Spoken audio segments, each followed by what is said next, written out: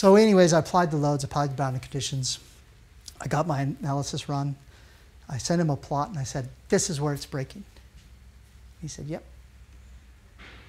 Now what do we do?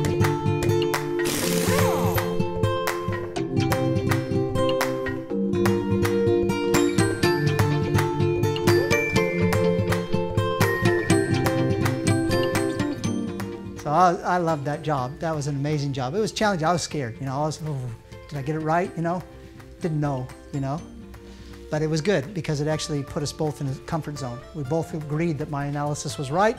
We both then knew that whatever I came up with as a solution might be right as well. See how valuable that was for both of us? And I had confirmation. You know, he, he said, yeah, that's what it's. I, I mean, it was a really brilliant process. So in the end of that, then I, I, I went back to monocoque design for him because he kept adding, um, what's the solution that you normally go to when something's breaking steel-wise? What do you do? Go to alloy or thicken it, yeah. What, but you're in the field, you're fixing it. How do you fix it? Well, you weld the, the broken thing back up, but what else do you do? Add more steel. You put a doubler on it, you put a tripler on it, you put a gusset on it. What is all that doing in the context of load path? You guys familiar with load path? Sorry? Oh, no, it's just. Well, no, you're sending it right there. The stiffer you make something, load follows stiffness. So every time we added doublers, stiffeners, that focused more load in that area that was already overloaded. Were we fixing it or were we making the problem worse?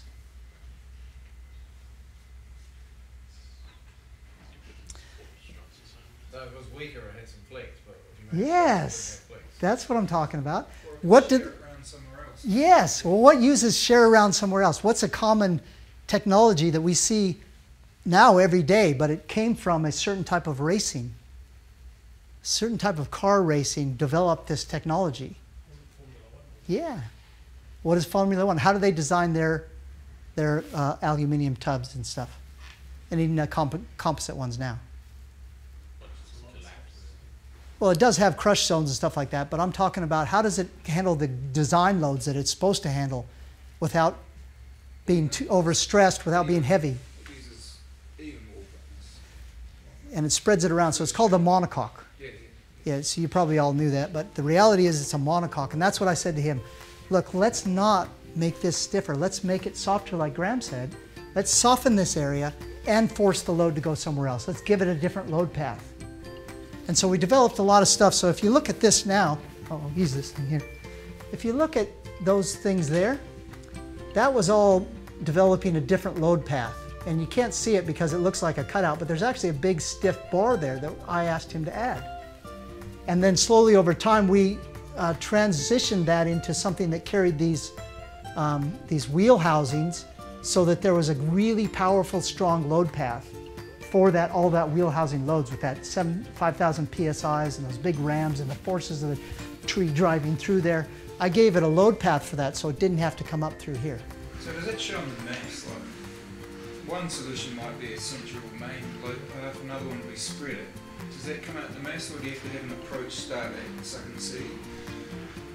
Is it obvious? It isn't obvious. That's the thing. It's human mind that always comes up with solutions. Computers can highlight issues and problems, but they can't really yet do that whole thing of thinking for you. So it's the human mind that says, well, what if I had another load path? What would that load path look like? In the FEA, it gives me visual evidence that the load path works.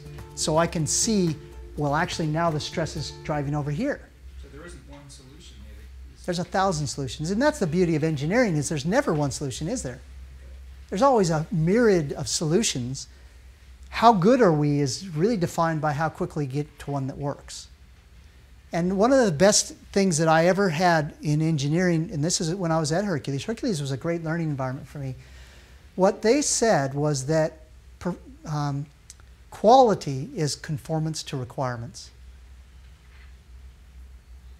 So a lot of times people will say, oh, a Porsche is much better than a Volkswagen. Is it? It depends what you're talking about. You're driving to a price, price point. Is a Porsche better than a Volkswagen? Yeah, for me, I would much rather spend less and have a V-dub than have a Porsche that has a little bit better performance or a lot better performance, whatever you want to call it. My measure is not can I do 180 Ks. My measure is not can I pull a half a G. That doesn't matter to me.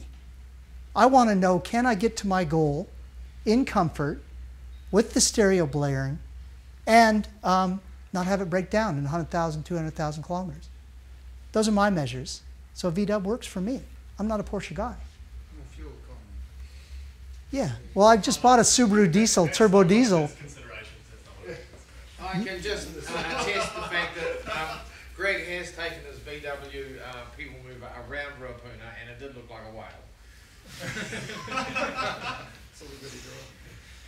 Well, uh, let me just go to that question you just had. You know, one of the beauties of engineering, and I saw this when I was first in engineering. We we do the Carnot cycle, we do the uh, Brayton cycle, we do. You know, remember those cycles that we all talk about? They really had me in my head because I'm like, this diesel cycle is so much better than the Otto cycle. You know, it's so much better. Why are we always driving petrol engines when this diesel is so much better? I couldn't get my head around it, and it's because the technology wasn't there. But when we got direct injection, when we got common rail diesel, when we got all these things, you guys might not remember the old crappy diesels we used to have. I've got a, a Mitsubishi Canter motorhome that barely gets out of its own way. It's lucky if it can get out of the driveway. This thing is so underpowered, it's scary. That's not what I have now with my uh, Subaru Outback. I have a, a turbo diesel Outback that pulls like a schoolboy. You know, it's tons of fun to drive. It's six-speed tranny, and it uses six kilometers or six liters per 100 Ks. It uses no fuel at all because that diesel cycle finally got, you know, got to its true efficiency. It says that it can be 40% efficient. Otto cycle can only be 30% efficient. There was a disparity in our technology, but there was no disparity in which was a better technology. Does that make sense? And I saw it back then, but I had no idea why it wasn't there, why it wasn't already there. And so now we have turbo diesels that are just, they're, they're brilliant, fun to drive, they don't use any fuel.